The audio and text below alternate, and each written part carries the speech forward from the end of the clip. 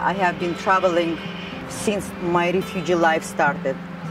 When I already knew that something is happening, I came to Armenia to find a place where I'm gonna escape. And the earthquake happened, so I had no luck to find a place to live. Went back to Baku, and that's where one year I stayed in 1989. I completely left Baku, never went back uh, with a little amount of things to Armenia.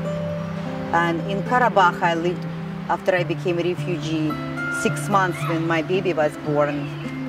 Um, 93, I left Armenia. I lived in Moscow, and in 90, 1996, I went to America, to San Diego, and never left the place.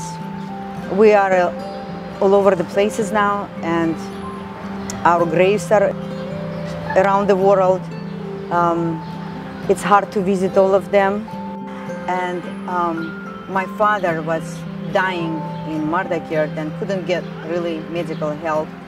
And I want to see him before he dies because I didn't see him two, three years because of a war. Um, zone was closed and if you get there, so you in. And in the morning, I pretended that I am journalist, one of them, and so I flew there in a military helicopter. They let me in.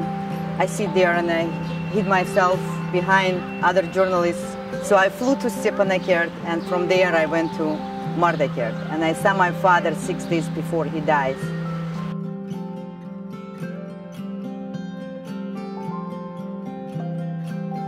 Hi, uh, my name is Irina Petrosian.